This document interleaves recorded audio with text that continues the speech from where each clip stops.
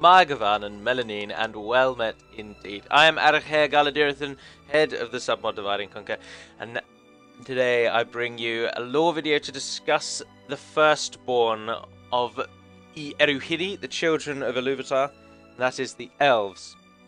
Now, the Elves, as I have always said with these lore videos thus far, I've always wanted them to be pertinent to the campaigns of Divide and Conquer. So if they can't be set at least almost wholly in the Third Age, they should at least be set in Eastern Middle Earth before, uh, after the fall of Beleriand. As in Dak, uh, playing Lord of the Rings, even just reading the three Lord of the Rings um, key books, the six books, you will not come across Beleriand very much at all. Aragorn talks briefly of um, Beren and Luthien, but other than that, you don't really learn too much. And that will be the same here. I will discuss the creation of the elves and what happens at the very, very beginning.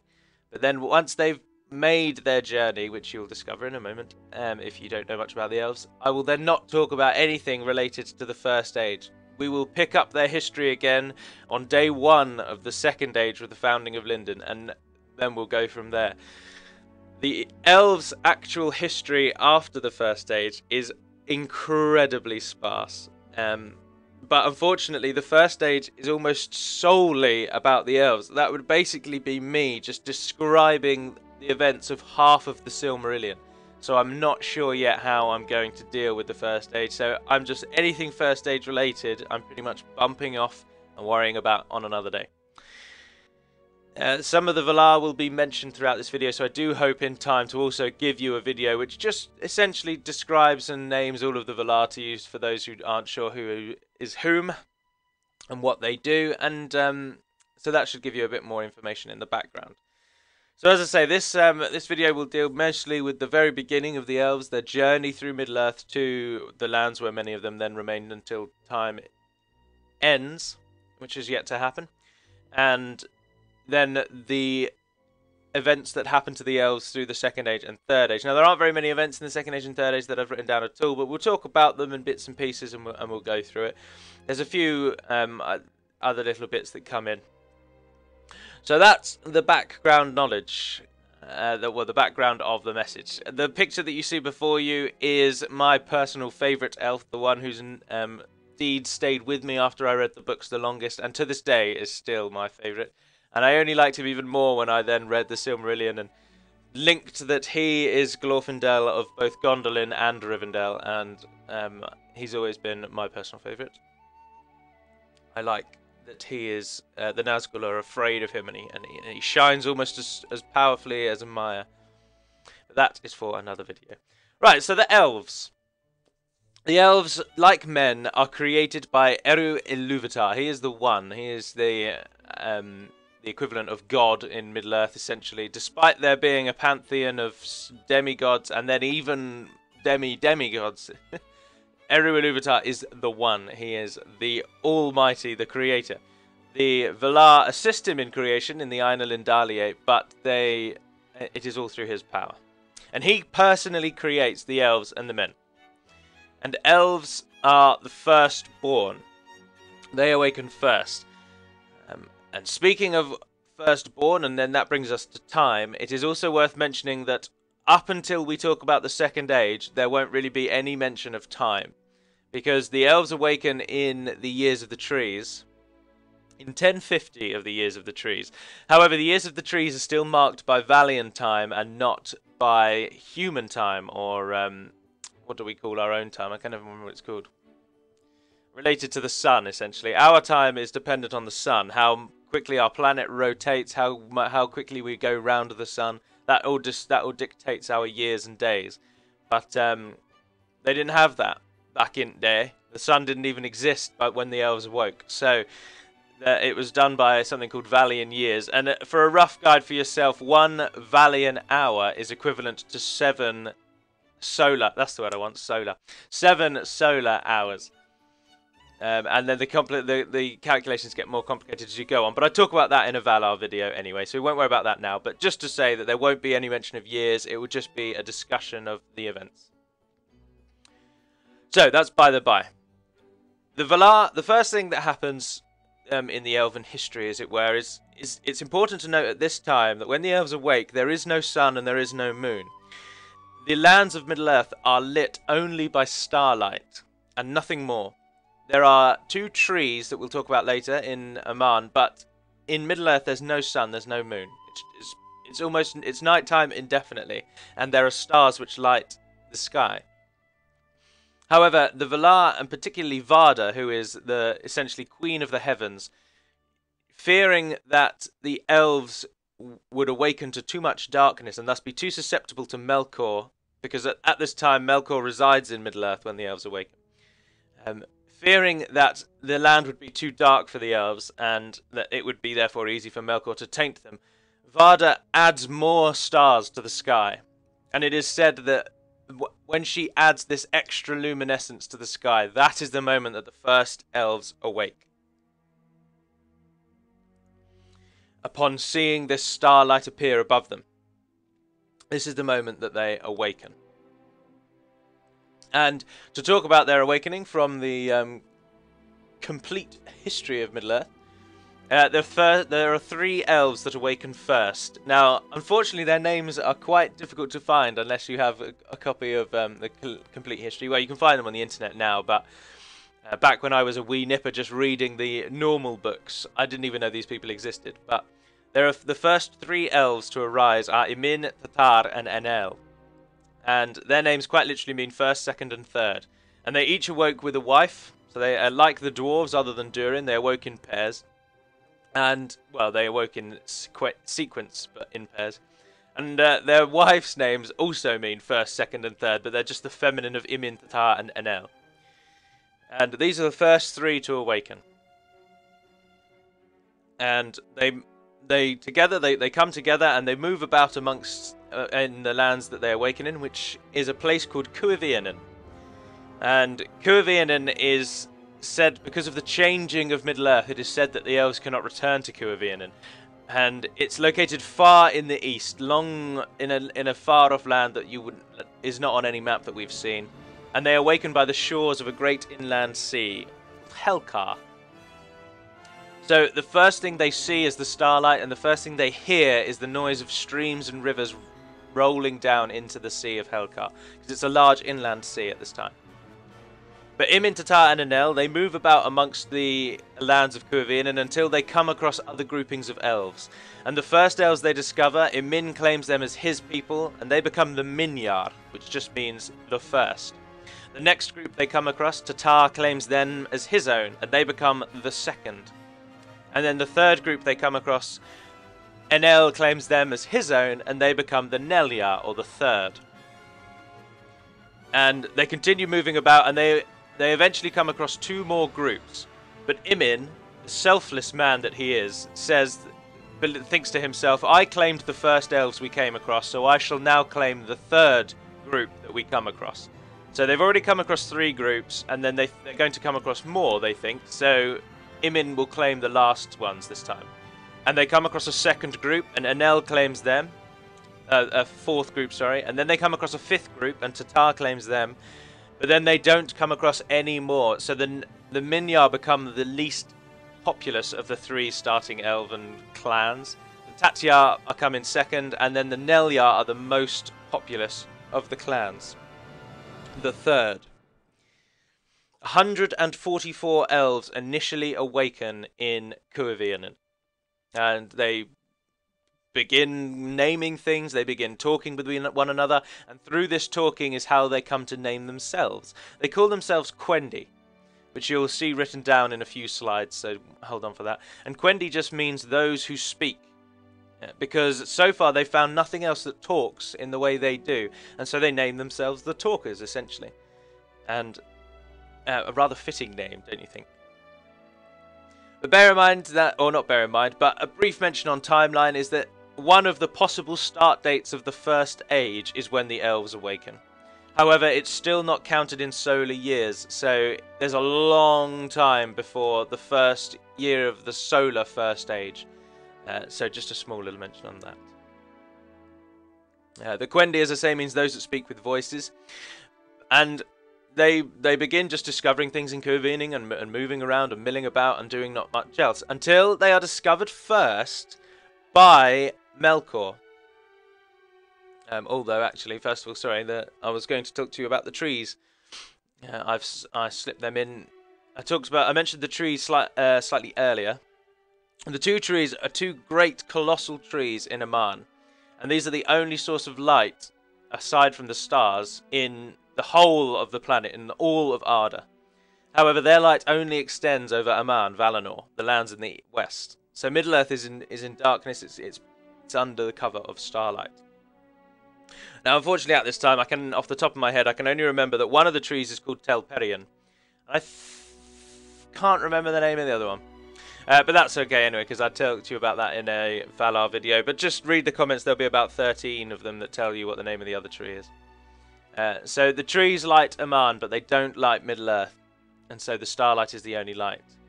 But anyway, back to Melkor. Melkor is the first of the Valar to find the elves. And he is he's obviously he's already the chief enemy of the Valar, and he begins sending shadows and spirits and evil powers to Cuiviénen in an attempt to to twist the elves. He's trying to already corrupt them because he claims this land for his own and he despises Eru Ilúvatar, uh, and so he's trying to dis disroot. That's not really what I want to say, is it? He's trying to disrupt the creation of Middle Earth. He's trying to disrupt the pattern that was sung out in the Ainulindalë. And so he sends spirits to Cuiviénen, and, and, and it is said that any elves that wander off from the group are said to disappear entirely. And it is also to note that at this time, it's said in the books, uh, obviously the orcs also have a second creation myth, but it's said here that this is when the elves are twisted and tainted and turned into orcs. Those elves that disappear from the group, they're captured by the spirits and, and the wraiths of, of Melkor, and they're twisted to orcs in his great um, bastion of Utumno. Additionally, a second feature on this is Melkor knows that Orome, the hunter of the Valar, the huntsman of the Valar, he often wanders in Middle-earth. He's one of the few Valar that actually roams Middle-earth at leisure, alongside Yavanna. And he knows that Orome goes everywhere with his horse, Nahar, and so he creates he creates um, shadows and, and evil evil wights and wraiths that resemble a great rider atop a horse. And his plan is so that when Orome eventually finds the elves, they will be fearful of Orome and they, they'll be distrustful of him because they will think that he is the one that's been snatching elves when they've left the group. But it is not so. And Orome does come to the elves. Eventually he finds them and he hears them singing and he heads over to meet them. And some of them are terrified of him. They think he is this great huntsman that uh, Melkor has been spreading lies about throughout their number. But Orome, Orome says to them, I, I am, I'm not, I'm, I'm here to help you essentially, and he's, he's in awe by the elves. He's in wonder of the elves. I'd just like to do a brief mention of the picture I chose here for Orome, and that is that if you ever look for Valar, they are almost always drawn like elves. Sometimes they're larger, like enormous, the size of skyscrapers. Other times they're like natural and they have trees growing out of them. And I've seen a few pictures of Orome where he looks like a um, he looks like a tree human. But they always have the pointy ears and they always look like elves. And I'm uncertain as to why that is. Unless, of course, because the Valar can essentially choose their form, Unless it is that whenever they appeared before the elves, when the Orome first saw the elves and when the rest of the Valar first saw the elves, they wanted to appear the same as the elves so as not to dis- not to upset them, not to disrupt them. So and then ever after we then always think of them as elves, but I can't find too much to say that they actually look like elves. If, uh, I mean, of course they are formless and shapeless; they can do what they want because the Maiar can do that as well. Um, but they why they always choose to look like elves, if that is indeed the case, is beyond me. But that's by the by. Orome finds the elves, he returns to the Valar and tells them of the elves, and then he comes back. The Valar have counseled, they've spoken amongst themselves, and they've decided that the best way to save the elves from the threat of Melkor is to bring them to Aman. So Orome heads back to deliver this news, and he chooses amongst their number three ambassadors from the three clans, Minyar, Tatyar, and Nelyar. And these three ambassadors are Ingwe, Finwë, and Elwë. They're depicted here. Ingwe, the chieftain of chieftains. Ingwe Ingwerion uh, is the gentleman with the golden hair. Elwë, who becomes Thingol and um, his history is interwoven with the First Age, is the gentleman with the silver hair. And Finwë, the father of Fëanor, the great and famed elf, is the gentleman in the middle with the black hair. Now, trying to get a picture of those three that was not anime was horrifically difficult. So that's why I've settled on this one. But anyway, Orome chooses these as his three ambassadors and he takes them back to Aman where they see the light of the trees, they meet the Valar and they are overcome. They can't believe the beauty of this place. And of course, if you've spent your whole life in darkness, seeing light for the first time, proper light that lights up everything, must completely blow your mind. And so they head back and they they counsel their clans and they they try and get, get them to come with them to Aman. It is also that the three ambassadors then become the kings of the Valar, and that's why their names are known far more than Imin, Tata, and Enel, who were the first three elves. The names of Ingwe, Finwë, and Elwë are known far more because they become the, the kings, high kings of each of the three clans. And on the next slide, you will see the clan names. We'll talk about that. But um, they do manage to get the elves to go, and the elves agree to go on this great journey. But this is when the first sundering of the elves takes place. Uh, oh, I've clicked the wrong one. Click left instead of right. And the sundering of the elves is as follows. Many elves do want to go to Aman. They, they're really interested in, the, in what the three ambassadors have to say, and they, they agree to follow them. However, some elves do not, and they refuse this journey. And these are the elves that then ever after become known as the Avari.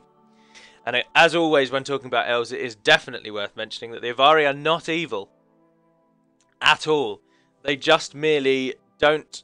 They enjoy the. Said that they enjoy the open lands of Middle Earth, and essentially, it's the it's the grass is greener on the other side problem. They don't know for certain that the other side's going to be better than where they are now, so they opt to stay and the Avari are made up of a small number of Noldor and a small number of Teleri. Now, you wouldn't have heard these names, so I shall explain them to you. The three kings, Ingwe, Finwë, and Elwë, who is um, over here, they are the leaders of now the three clans whose names have been changed to Vanyar, Noldor, and Teleri. They may still call themselves Minyar, Tatyar, and Nelyar. They all have different names for themselves. But the names as we know them are Vanyar, Noldor, and Teleri. The Vanyar, it is said, are the highest of the elves. They were the first to awaken after Imintatar and Enel, and they're the they're the highborn, and they are marked by golden hair. Golden hair is a trait of the Vanyar. Uh, the Noldor, it is said, are the deep elves, and they are friends of Aulë in time. They'll be friends of Aulë, uh, the chieftain, the smith of the Velasari. And the Noldor are led by Finwë, and as I say, half of them refuse the journey, and half, uh, not half, sorry, um, a number of them refuse the journey, and a large number of them do go. And then finally the Teleri. The Teleri make up almost all elves that aren't Noldor or Vanyar, bar the Avari. And the Teleri are led by Elwë. Now, Olwë is his brother, and uh, their their histories sort of entwine as it goes on. But at this time, they're led by Elwë and a, a, small number of them remain, but a large number go on the journey. So the Avari stay in Cuiviénen and essentially drop out of the history of Middle Earth. We, of course, have done some work into making the Avari appear in Dorwinion, uh, but that is pure fan fiction, I'm afraid. There's no evidence there are elves in Dorwinion. Uh, was far, far to the east. essentially, I'm fairly certain I can say that um, walking from Dorwinion to Lindon is further than walking from Dorwinion to where Cuiviénen was. And of course, remembering that Tolkien writes that it is said that Cuiviénen cannot be returned to. So there's also suggestion that the Avari would struggle to make their way west. But um, some of them do. Some of them do before the world is changed too much, and they eventually mingle with the three tribes you see beneath them: the Sindar, Nandor, and Falathrim, or the Nandor, really. But most of them remain in the land, in and around the lands of Cuiviénen. So, you've got the Vanyar, Noldor, and Teleri. And I've slashed it with Falmari, and there are three other options over here. Now, these are collectively known as the Kala Calaquendi, as you can see above. Oh, and this is the spelling of Quendi, by the way. Now, Kala Calaquendi means light elves, or elves of the light. And this is because these three clans all see the light of the trees. They make it to Aman. Um, we continue. We'll talk a bit more about their journey in a second, but they all make it to Aman. And the reason I've split Teleri Falmari is because as we go on, we will see that a large number of Teleri do not make it to Aman. And indeed, even Elwë, their king and their ambassador from time before, he doesn't even get to Aman. He's already been, of course, but he um, he remains in Beleriand for reasons we see later. So his brother Olwe becomes the leader of the Teleri in Aman. Ingwe is. It's also to mention that Ingwe is said to be the highest of all elves. And he is the High King of all kings. So each of the three clans does seem to have a High King. But Vanyar is said to be the highest king of them all. He is the greatest of all the elves. And it is also said that all elves revere Van the Vanyar and especially Ingwe. So he's kind of like their, their great leader. The Noldor have as first their leader Finwë, and then they have a separate leader for Aman who um, is Fingolfin, I believe uh, or Finarfin. I've not got my little uh, my little notebook out. Fingolfin or Finarfin is either the leader of Aman, and then there are about six High Kings of the Noldor in exile, which is ends with Gil-galad in the Second Age, uh, in the Last Alliance. Yeah. Elrond does not take the High King title, as far as I am aware. But that's by the by. So the Moriquendi is the collective name for the elves that do not see the light of the trees and are so called the elves the darkness or the dark elves. And this is the point that I try and hammer home in all the videos that I've ever spoken of this is that they're not evil. They're not dark elves like you know from almost every other fantasy thing. Apart from of course um, the lands of uh, Morrowind where they're dark elves purely based on their skin. But in Moriquendi they're dark because they didn't see the light of the trees. They're not evil. And uh, the Teleri can be split down into these into these key factions. The Sindar, as you should all know, are the main elven body that makes up Beleriand until the Noldor return.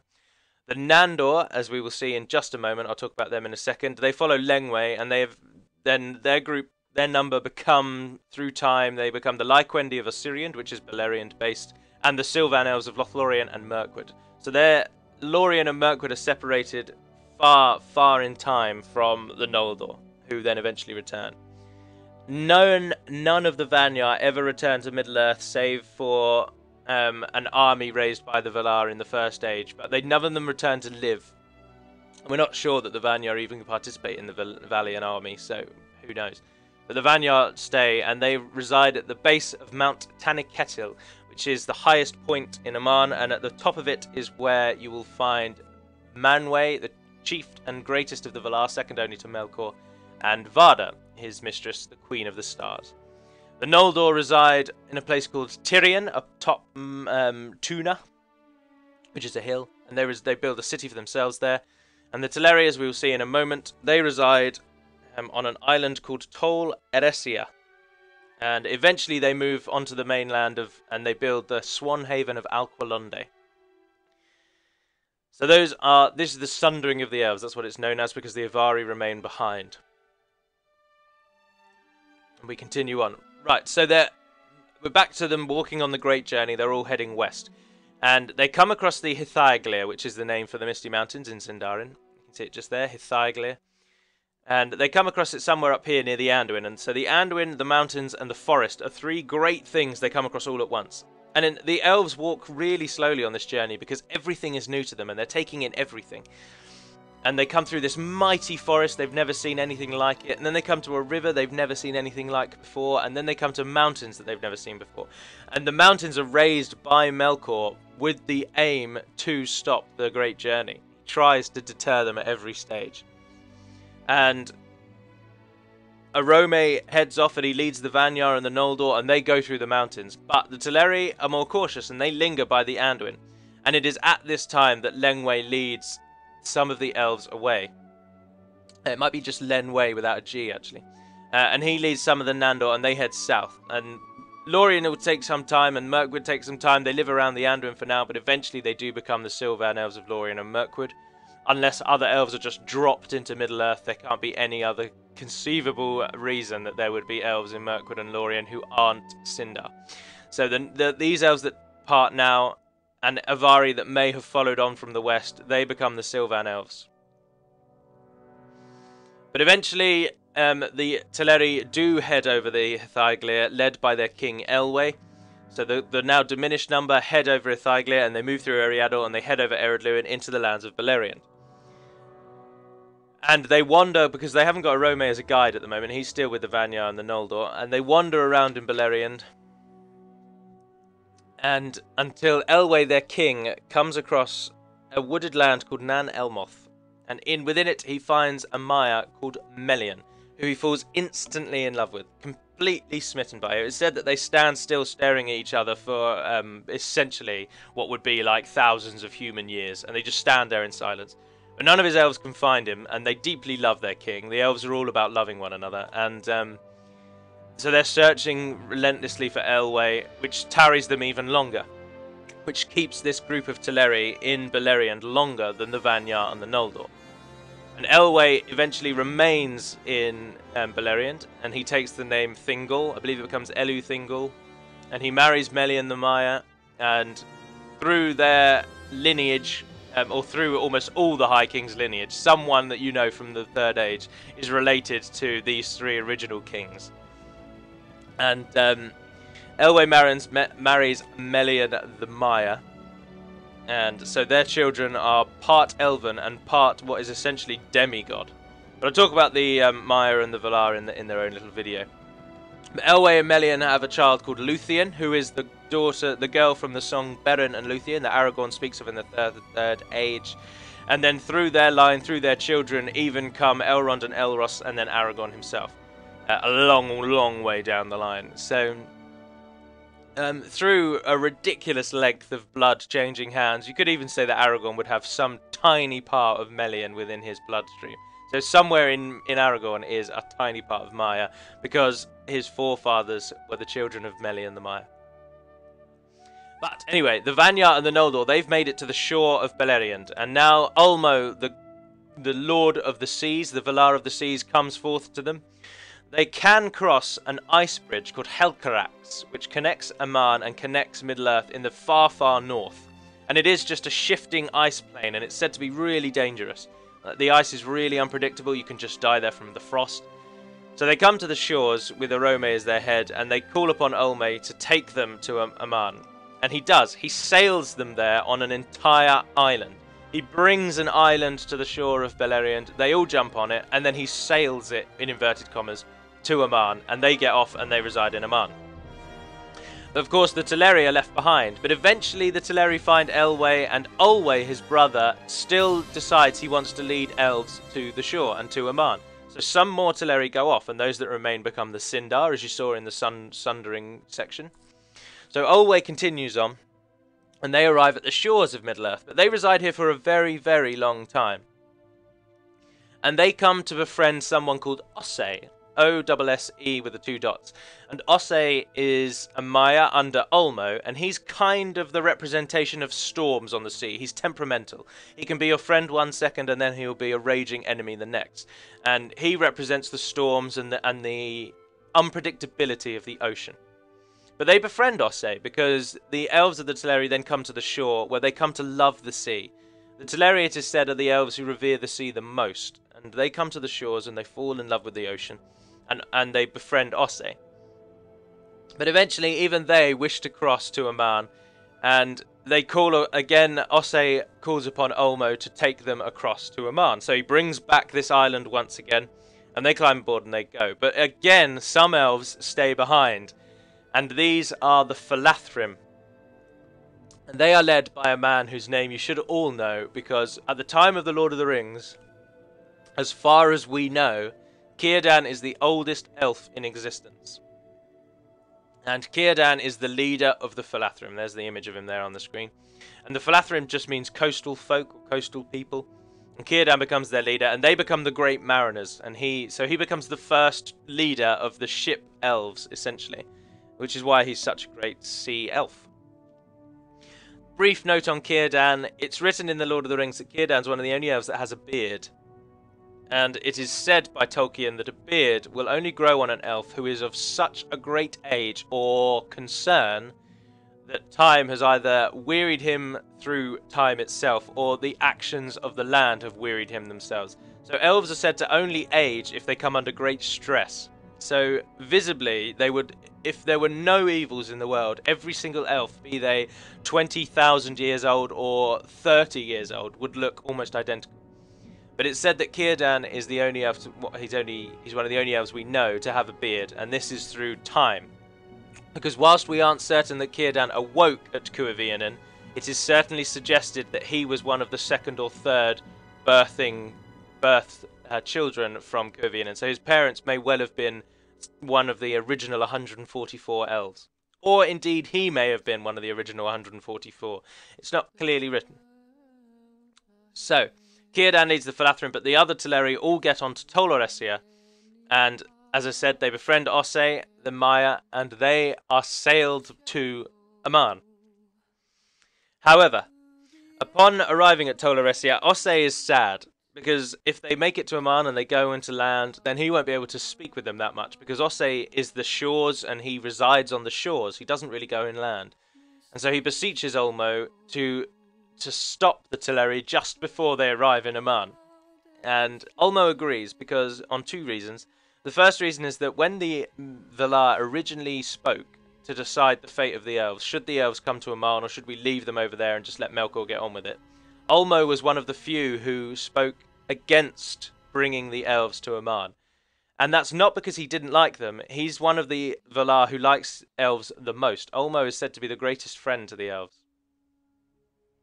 And um, he because he wants the elves to sort of remain in Middle Earth, he agrees with Ossë. Uh, there is only the one reason, sorry. Um, uh, well, and also partly because Ossë gets on with them so well, but he agrees to allow the elves to remain, and the island is anchored just off the coast of Aman to the um, just off to the east of the great mountain of Tanaketil, and it becomes Tol Eressëa, the lonely island and the Teleri reside there for a great amount of time in their in their city there. I think it's called Alvalon, and then eventually they do then thousands and thousands of years later they do eventually go to the mainland of Aman and they build the Elven Haven, Swan Haven of Alqualondë, and so and they finally arrive in Aman. And that concludes the great journey. So they've walked from the east to the farthest west and in that time, they've created the Silvan, the Sindar, the Falathrim, and the Avari. They're all left behind. They haven't got these names yet, but they're all left back in Middle Earth. And the elves of the Great Journey all arrive in Aman, thus concluding their journey. Alrighty ho, so then we, as I say, we won't talk about the first stage at all, and now there are very few points left on the first year of the second age of Middle Earth. So now we're really into the into the time that we all know.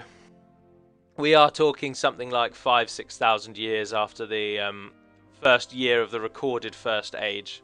Even more so than that because of the years in the years of the trees are longer. But the second age, the first year of the second age, after Beleriand has fallen, the lands of Lindon are founded. Just here. Um, and also at this time, but we're not. I'm uh, from the books that I, could, I had gathered around me when I was doing the research on top of what I already knew, just to fill in the dates, trying to cut down on the people telling me I'm wrong. Um, Mirkwood and Lorien are also founded around this time by Sylvan elves, like properly. So they may have resided here for some time, but now Beleriand has fallen and humans are really starting to take hold. Uh, the elves seem to then return to their forested lands. So Lindon is founded in the Second Age 1, but then nothing really happens in the Elven history for 750 years until a small group of the Noldor break from Lindon and they create Eregion, the lands of Eregion or Hollin, over here just west of Moria. Imladris is still not existing at this time. Still doesn't exist at this time. So they create Eregion. Their leader is Celebrimbor. And Celebrimbor is the grandson of the greatest elven smith to ever live, Fëanor. And so Celebrimbor, quite naturally, is therefore a very talented smith, and he creates the Gwaith y Myrdain, the smith, the um, jewel smith's guild, or just the jewel smiths, can't recall. Uh, and that's in Eregion, which you should all know, as that's the little guild building you get in uh, Ostin Ethil, the town of the elves. so the Noldor then flourish in their own way in Lindon and in Eregion. Uh, there'll be by now the the elves that survived the fall of Beleriand will be a mix of Noldor, Sindar, Falathrim, who were Teleri, Sindar, of course, were Teleri, Lyquendi of Osiriand. They all would have formed to create what is now an amalgam amalgam of different clans. So they're not purely Noldor, but they do follow Gil-galad as their High King, because Elwë is is no longer there. He's no longer there to lead them. Olwë and Ingwe are back in Aman, so they can't lead them. So they follow at this time Gil-galad, the last of the High Kings of the Noldor in exile. But in the year 1200, Sauron the Deceiver comes to Eregion and wins over the elves. Now, I call him this because at this time, Sauron can still decide how he looks. Um, after he betrays Middle-earth so heavily, um, whatever power it is that does it, forces him to take on a look of disgust, so that he can never again trick or deceive anyone. But at this time, he still can control his form. And he comes to the elves as this great and wise smith, a friend to them, and somebody they can learn from. And the elves of Eregion, who ever hunger for further knowledge, they have that same trait of Celebrimbor's grandfather. They welcome him and they, they begin to teach and learn from Sauron. And they learn of the power of the rings and how to create them. And in 300 years later, after the teaching of Sauron permeates through, they create their, the rings the nine, the three, and the seven. Although the three, I believe, are made sort of in secret, Celebrimbor kind of catches on to what Sauron is doing, and so he, he creates the three elven rings separately so they aren't under the power of the one. But then, as you all know, 100 years later, so it's a, a, process of 100 years to create all these rings, the one ring is created in the Second Age 1600. And instead of getting a picture of the ring, I thought I'd get up an inscription of what is inside of it. Of course, you all know what it is in English one ring to rule them all, one ring to find them, one ring to bring them all, and in the darkness bind them. But in the black speech of Mordor, it is Ashnazg de Batuluk, Ashnazg Gimpatul, Ashnazg Thrakatuluk, and Ag Barzamishi Krimpatul. And that is the ring inscription. I also wrote down the actual inscription or got the image of it because it is a perfect example of Tengwar Tetav form where you can see that these little dots above the lines are the vowels. Uh, is something I can actually write fluidly in, but unfortunately I can't prove that on the internet. Whereas I can speak Sindarian, I can't speak Tengwar because it's a it's a written form. But um, these are the vowels, and they all go above a following consonant. So at the start here, obviously, it all begins with ash. So the a goes above the sh, and that's why there's a little three little dots above there. So it's ash, and then nazg, and then debataluk, throughout. So there's the ring inscription. Sorry, I, I could talk for ages about Tengwar and Sindarin, but I don't want to. I just wanted to briefly touch on it. So the One Ring is forged in 1600.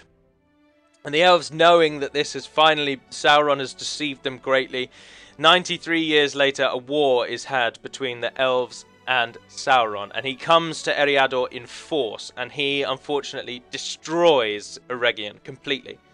Now, I think this is because they either hide the rings from him um, or because he just he, he hates them. He does hate them. So even though he's deceiving them and going against their number, he hates them all the time. And so he just seeks to destroy them. And he's uh, uh, probably a little annoyed that they sussed out his plan and the three elven rings do not fall to his power.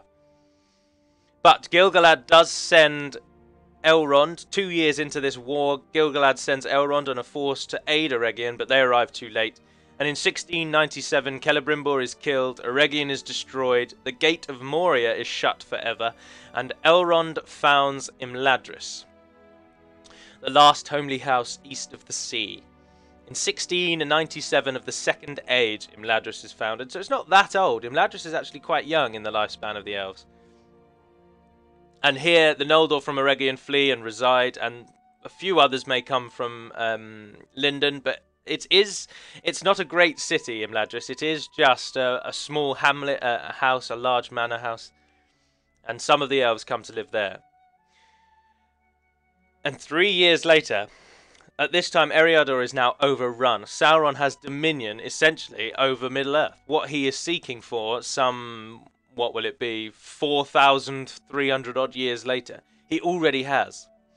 But throughout the Second Age is the time of Numenor, and at this time the Numenorians return in number, and under their king Tar Minastir, and with an army of Gil-galad, they eradicate the orcs from Eriador and they cleanse it, and it remains free for a very, very long time until the um, Witch King, uh, uh, quite a long time later.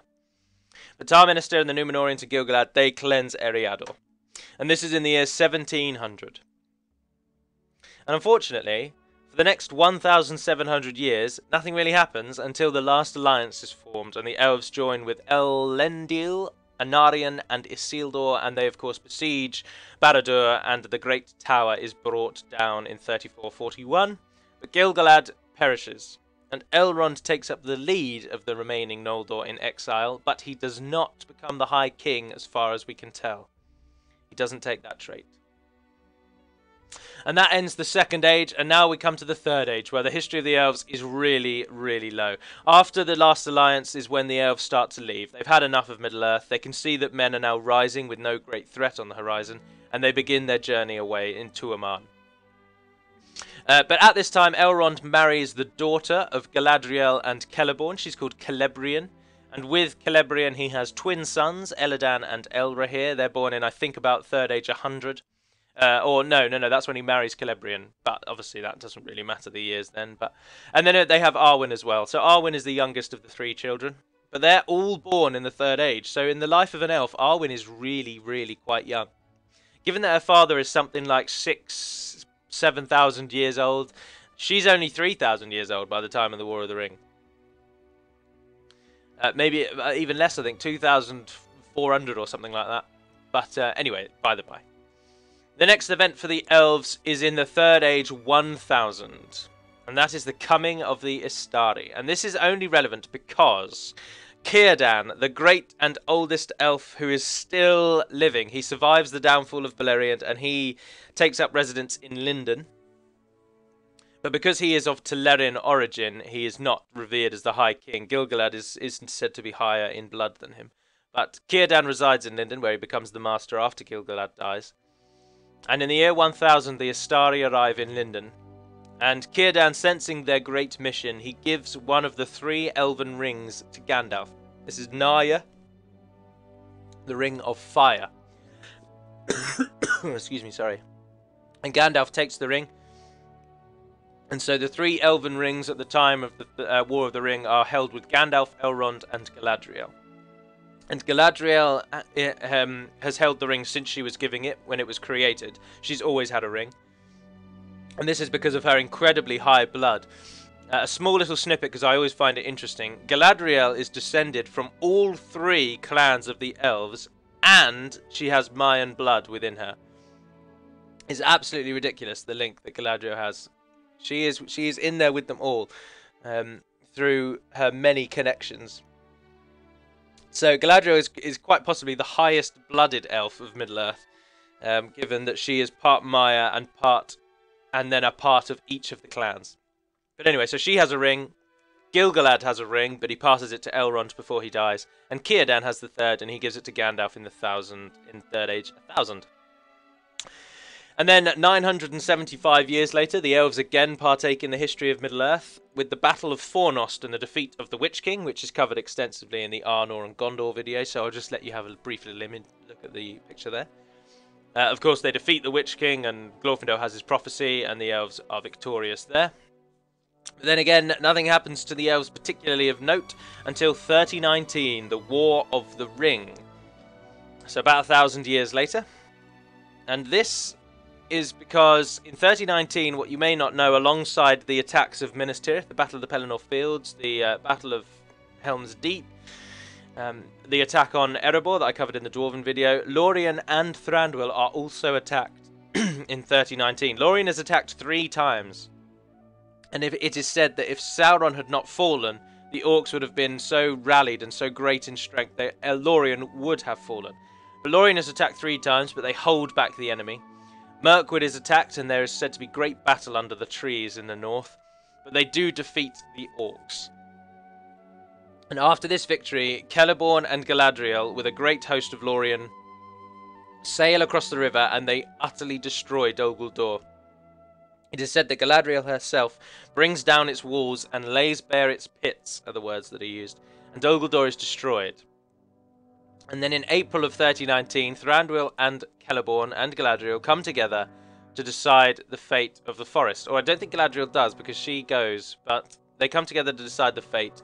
And the eastern side of um, the eastern side, the southern section here below the East Bight, becomes Eastern Lorien and is joined with Celeborn's realm. And north of the mountains here, and I believe slightly to the road possibly, it becomes Thranduil's realm.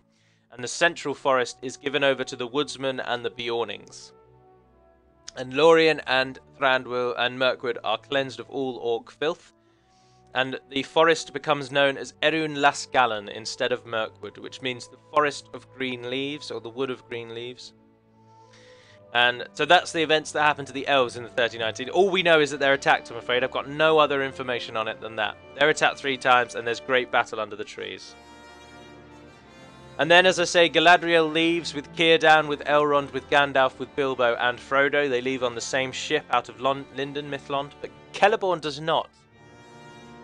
And to be quite frank, it's not 100% certain that he ever leaves. Um, I didn't look into the twins' history, but Celeborn resides in Lorien, ruling over West and East Lorien, until eventually even he grows tired and he returns to Rivendell where he resides with his grandsons Elladan and Elrohir because of course his daughter is their mother.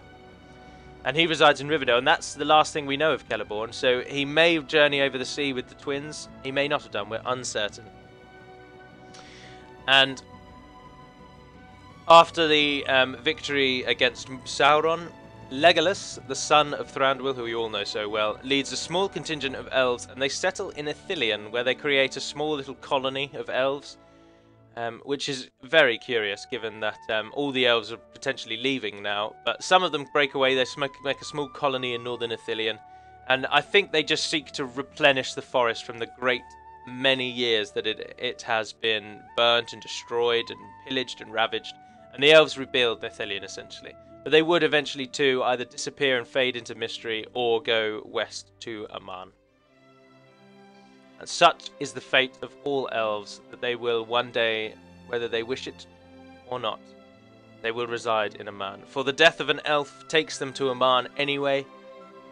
So unless, but of course, given that they are immortal, unless they are killed by another's hand, they will reside where they choose to. So the Avari do just pass into myth and, and, and just exist in the east. And there's those that don't journey to Aman or die also do reside here somewhere. But as I say, they pass into mystery. And that is the history of the elves that I wanted to talk about, barring the first age in Blur. I hope this one has been as enjoyable as the ones before. Again, please feel free to leave as many comments as you will. They are greatly appreciated. But until we speak again, dearest friends, Navar Naden Pedimad Melonin, and fare thee well. Oh no, I tell you what, just for those who stayed even beyond the farewell, the elves revere starlight above all else because it is the first thing that they awoke and they saw. And the Sindar gave a name to Vardar called Elbereth. They called her Elbereth. And they revere starlight so much they wrote a great many songs to commemorate the stars, but none is so famous as the Elbereth Gilthoniel taint, the Song to the Stars, which for those of you who have remained to beyond the farewell, I shall read for you now. And this is just a this is just a, a worship song to the stars itself, but it is entirely in Sindarin. And it goes as follows. A Elbereth Gilthoniel, Silivran Penna Miriel, O Menela Glar Elanath, Nachaired Palandiriel, O Galathremin Enorath, Fanwilos Lelinathon, Nephayar Si Nef Iron. And as such, the elves pass into history. Farewell, dear friends, Navarre and Quiomai.